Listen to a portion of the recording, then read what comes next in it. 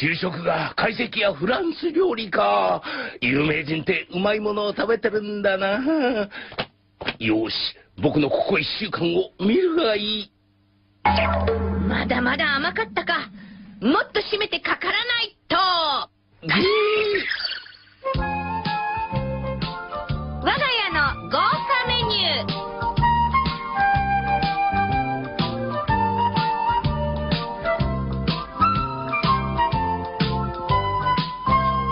こんな有名人と比べられてもね。そうよ、収入からして違うんですものね。姉さん、それ貸してくれない？どうするのこんなもの。ちょっと映させてもらうんだ。春休みの宿題を忘れたんだよ。春休みの宿題なんてどんな宿題なのよ。これは給食の栄養士さんに頼まれたんだよ。春休み中僕たちがどんな食生活をしているか知りたいんだってさ。栄養士さんがちょうど1週間分のメニューが書いてあるからね。ま、待ちなさいよ。明日からの1週間でも構わないんでしょ？もちろんじゃあ、返してもらうわ。よその人に見せられてたまるもんですか。うまくいったぞ。うわー、今朝はすごいねまるでホテルの朝食みたいだ。ええたまにはこういうのもいいでしょ？やっぱり気にしていたんだな。僕が書いたあのメニューを。お兄さん、夕飯も期待してていいと思うよ。うんだろうね。おお、豪勢な朝食だな。今日は誰かの誕生日か。いやね、違うわよ。栄養のバランスを考えただけ。あら、中島くん。あ、磯野くんのお姉さん。こんにちは。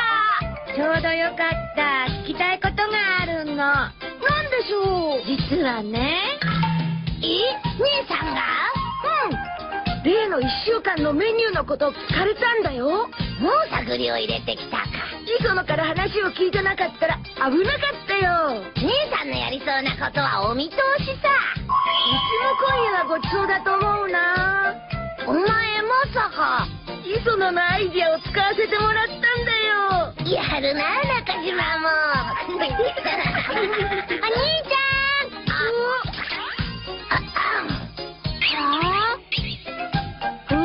悪い相談してたんでしょ何をしてないって。なんか怪しい。わあ、豪華な晩ご飯だね。旅館で出るのと同じだ姉さんったら見え張っちゃって。大丈夫かい、サザエ。財布の中身は？平気よ。こう見えても安売りのお店を探すの得意なの。ねえ、サザエ。今、お父さんから電話があってね、夕飯はいらないって。なんだ、せっかく腕を振るったのに。お父さんもついてないな。わ。お兄ちゃん、今夜のメニューメモした方がいいんじゃない？この程度なら覚えられるよ。お兄ちゃん、本当にメニューの宿題なんて出たの？嘘だと思うなら中島に聞いてみれば花沢さんに聞いてみようかな。え、花沢さん？あ、顔色が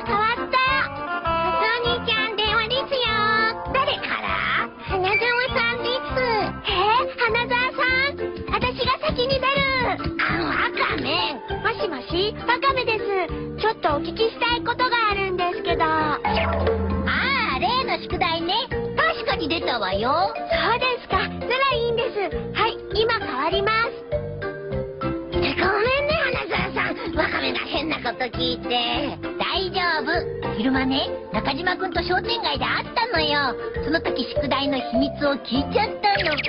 なんだ、そうだったのか。私も便乗させてもらったからね。え花沢さんも？簡単なメニューを書いて、父ちゃんに見せたの。そうしたら今夜早速レストランで夕食だって。そう、よかったね。それじゃあ。参ったな変な輪が広がりすぎちゃって。サザエまだ決まらないのかい？今夜の献立。なかなか栄養のバランスのいいメニューってないものね。何もそんなに凝らなくたって。行ってきまあ、お姉ちゃん、私も行く。あ、こんにちは。す。こんにちは。ワカメ誰？今の人。給食の栄養士さん。あの人が栄養士さん。ことが。よくも騙してくれたわね。カツうわあの声は。お兄ちゃんバレちゃったわよ宿題のこと。まずい。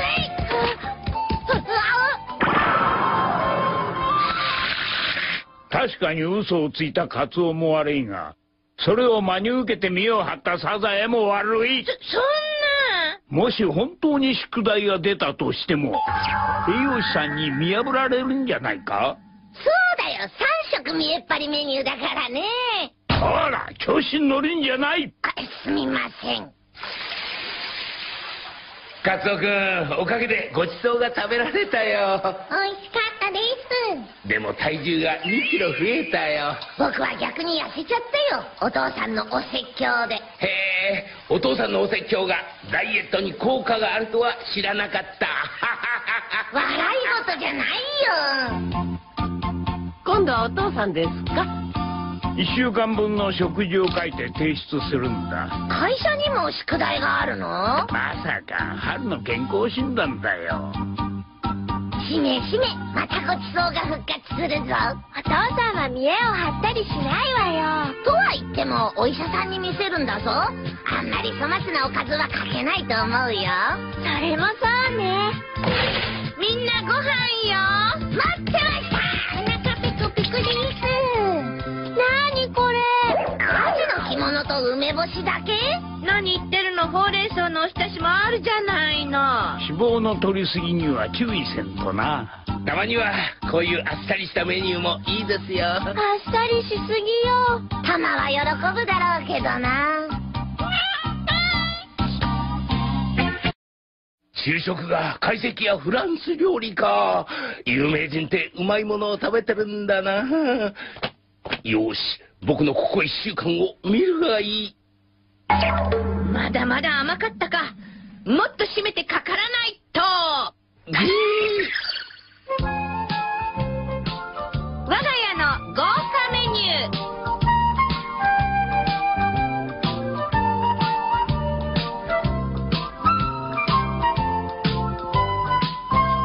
こんな有名人と比べられてもね。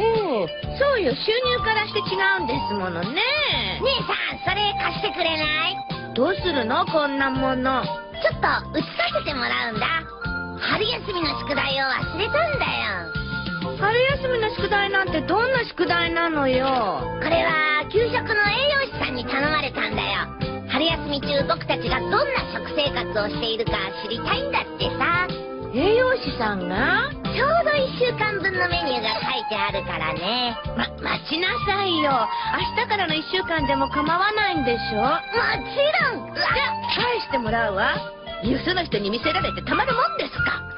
く うまくいったぞ。うわー今朝はすごいね。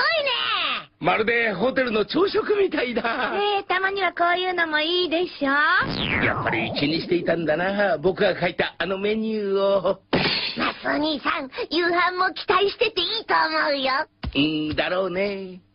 おお、豪勢な朝食だな。今日は誰かの誕生日か。いやね違うわよ。栄養のバランスを考えただけ。あら中島くん。あ磯野くんのお姉さん。こんにちは。ちょうどよかった。聞きたいことがあるの。なんでしょう。実はねえ姉さんがうん例の1週間のメニューのこと聞かれたんだよ。もう探りを入れてきたか。磯野から話を聞いてなかったら危なかったよ。姉さんのやりそうなことはお見通しさ。うちも今夜はごちそうだと思うな。お前まさか磯野のアイディアを使わせてもらったんだよ。やるな中島も。お兄ちゃん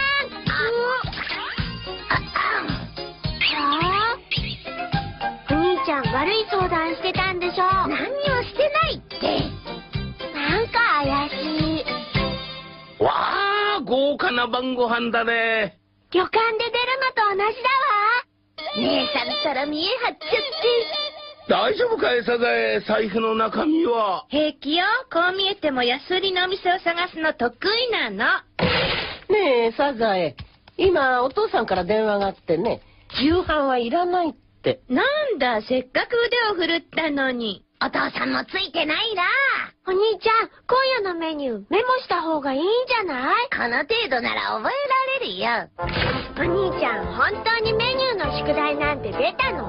嘘だと思うなら中島に聞いてみれば。花沢さんに聞いてみようかな。え、花沢さん？あ、顔色が変わ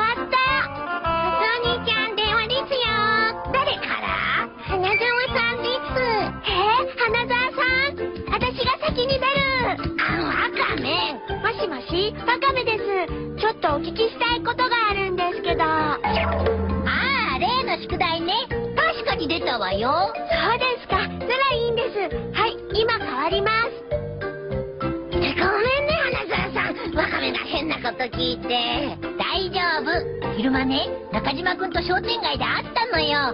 その時宿題の秘密を聞いちゃったの。なんだ、そうだったのか。私も便乗させてもらったからね。え花沢さんも簡単なメニューを書いて父ちゃんに見せたの。そうしたら今夜早速レストランで夕食だって。そう、よかったね。それじゃあ。参ったな変な輪が広がりすぎちゃってサザエまだ決まらないのかい？今夜の献立。なかなか栄養のバランスのいいメニューってないものね。何もそんなに凝らなくたって。行ってきまあ、お姉ちゃん、私も行く。あ、こんにちは。こんにちは。ワカメ誰？今の人。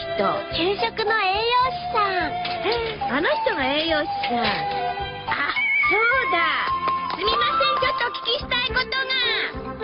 くも騙してくれたわね。カツうわあの声はお兄ちゃん、バレちゃったわよ、宿題のこと。まずいう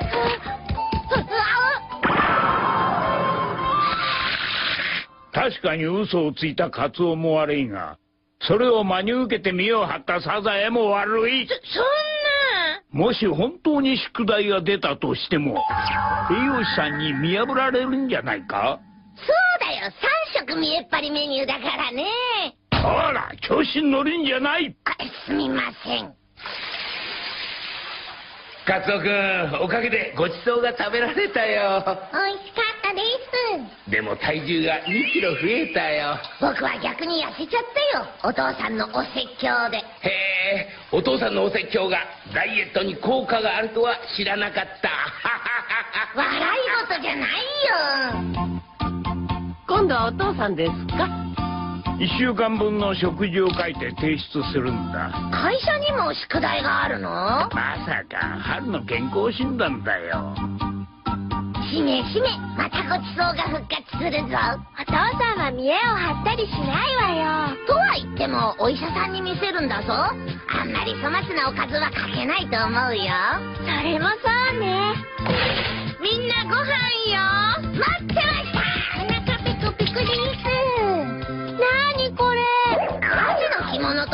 と梅干しだけ？